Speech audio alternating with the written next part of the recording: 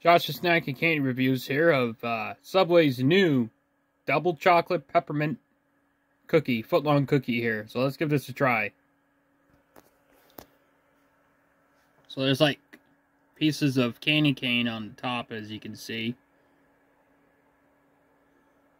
I think it might be chocolate filling in the inside, but I'm not 100% sure.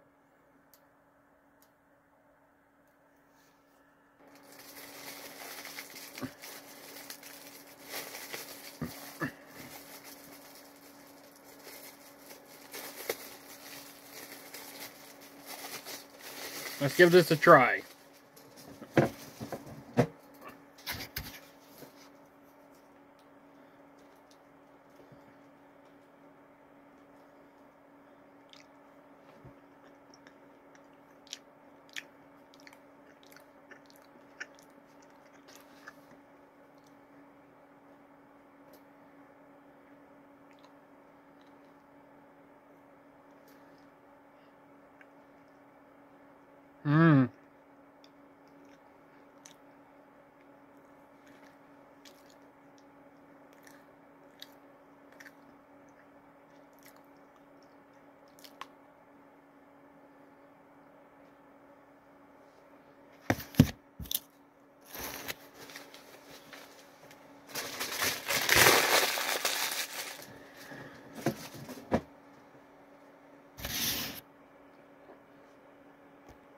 Yeah, there's definitely like a chocolate filling in the inside, I believe. It looks like there's maybe melted chocolate pieces or something.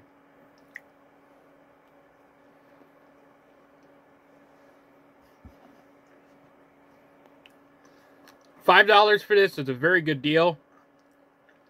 And um, I'm not gonna eat this all at one point, but I'll have this throughout the day or save this for later on tonight or something. But this is very good. Very good. I like the uh, little pieces of candy cane or peppermint or whatever they put on the top.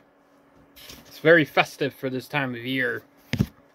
We all got to get into the holiday mood because uh, the holidays are starting, basically. I know a lot of people don't want the holidays to start just yet, but they're already starting. So, it's November, by the way, so anyway, it's pretty good. Definitely worth getting. Five dollars for this is a very good deal. Um, yeah, I don't think there's really anything else for five dollars like a foot long. Uh, or basically, this is more food for five dollars, and you know, this could be ten dollars if they wanted it to be. So, definitely worth the five dollars.